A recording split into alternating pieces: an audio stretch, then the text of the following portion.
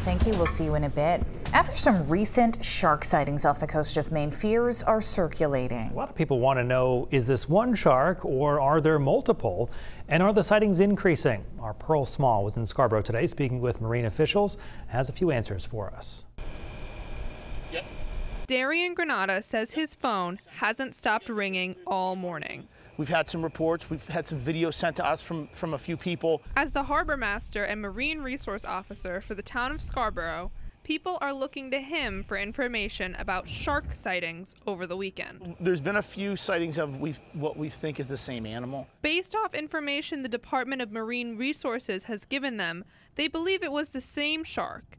They confirm it is about seven to eight feet long and is a great white shark primarily swimming around the same area. They see him now because more people are getting out on the water. Granada says it was seen once in Biddeford about a week ago, but was mostly spotted near Pine Point and the Richmond Harbor Island area. Despite concerns, he doesn't think this is anything out of the ordinary. Um, I think that we're seeing more because there's more people paddling, there's more people with you know cell phones and uh, social media getting it out there.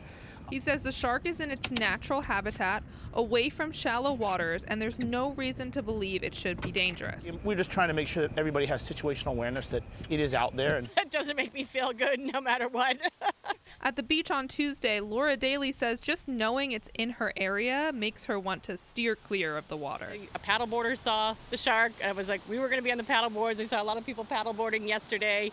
So you just never know, I guess. Daly says they tuck their paddleboards away, just in case. Actions not everyone feels the urge to take. No, it's not something I think about. Jesse Pappenberg says he always remembers how uncommon shark attacks are. The odds of being killed by one are 1 in 4.3 million, according to the International Shark Attack File. I think awareness is important, but again, I don't feel that unprovoked shark attacks are a significant danger. And if you do come across a shark, Granada says there are ways to avoid putting yourself in danger. Yeah, we recommend that they continue upon their way on, the, on their boat, leave the animal alone, and let it, let it do its thing. It's, it's in its natural habitat.